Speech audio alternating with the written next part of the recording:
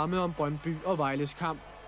Hos Vejle var der kun én angriber med fra start, nemlig veteranen Sten Thyssen. Superliga-debut til Belgian Hans Christians. Men man manglede en udlænding hos Brøndby, nemlig markeringsspilleren Usche. Han var ikke med på grund af sygdom. Her har vi så hans kollega i midterforsvaret, Kim Vilfort, en stor chance til Brøndby i kampens start. Mere Brøndby.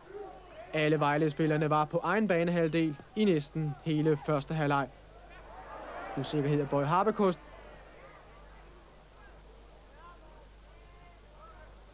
Brøndby har trykket Vejle helt i bund.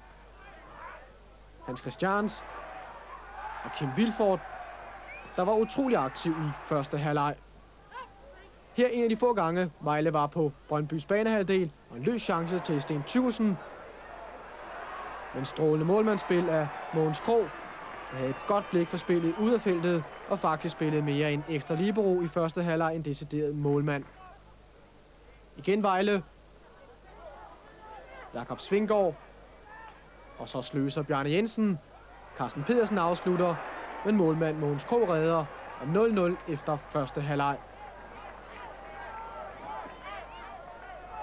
Men selvom de to hold skiftede banehalvdel, samme billede i anden halvleg.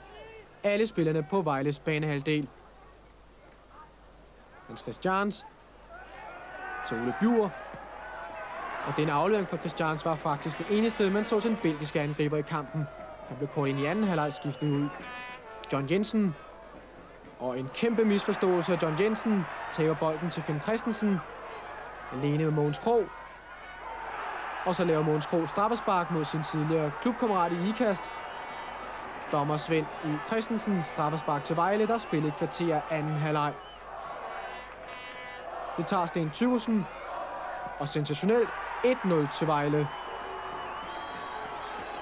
Det var Thyssens 9. Superliga-mål i denne sæson.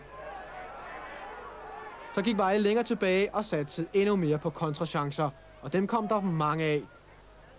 Sten Thyssen til Jakob Larsen og så får Bjørn Jensen reddet for Brøndby. Alt for sjældent lykkedes det for Brøndby at komme igen på fløjene. Det lykkedes det, men så skyder Ole Byer over mål. Nej, det var ikke Brøndbys dag. Sådan en misforståelse og boldtag var der mange af.